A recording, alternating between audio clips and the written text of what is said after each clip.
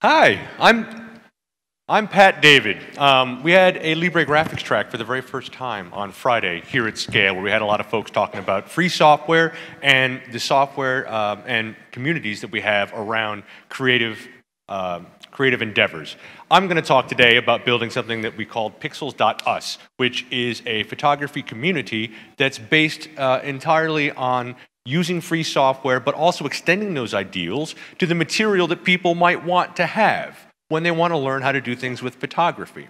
And why did we look at this? And the reason that we did was that we looked out at the uh, creatives that like to do things um, in particular with photography and video and other things. And th there was no central place for this, right?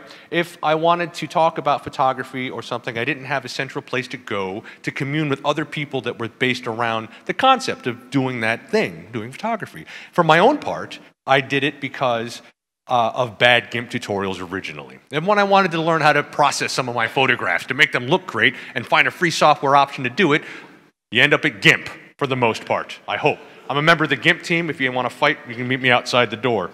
The, and the problem was all these tutorials, had, they were poor quality. They were cheaply monetized, right? I have to click through 10 different pages to look at, at 18 different steps so that I could see 20 different ads to learn how to add a blur to an image or make it pop a little bit.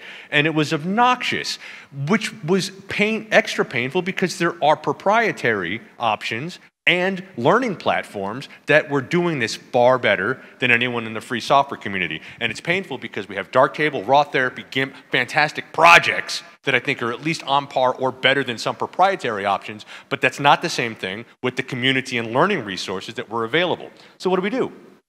What was the answer to that problem? I have great software, but not so great community or learning resources. Well, in true open source spirit, I just said, I'm going to go do it. I had no idea if it was going to work, but I said, I'm going to make a community that specifically had the goal, which was to provide tutorials, showcases, uh, and workflows for doing high quality photography using nothing but free software. And even better, extending that ideal to the material we produced. If I write a tutorial, it's CC licensed. You remix it as, as you want to, all the images in it, are also CC licensed. All these images, by the way, are from our community members at pixls.us, done entirely with free software in every instance. I happen to be lucky enough to be friends with a lot of guys from cool projects. Anyone ever heard Darktable, RawTherapee, GIMP? I'm a member of the GIMP team again. G'MIC, digiKam. These were all fantastic projects, but guess what? They were siloed, right? If I wanted to learn how to do something in Darktable, I would go to the Darktable mailing list, which is great, unless somebody from the RawTherapee mailing list might know something that would help me with the problem I happen to have. And that person was never going to see my question because they weren't on the Darktable mailing list necessarily, right?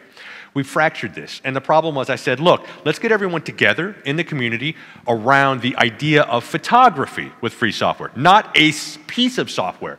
I'm not talking come to the GIMP community right? I'm not talking go to the Darktable community. I'm saying come to where we have other photographers talking about photography. We all happen to use free software.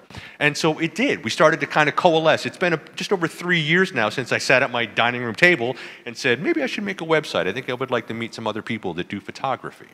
And we have. We've had a ton of articles and blogs on the site now, a ton of great tutorials with a lot of community engagement where people are writing things for others and sharing it all freely um, with everyone in the community to use, remix, learn, and extend. That's the most important one, right? From an open source standpoint and free software standpoint, we want to extend it.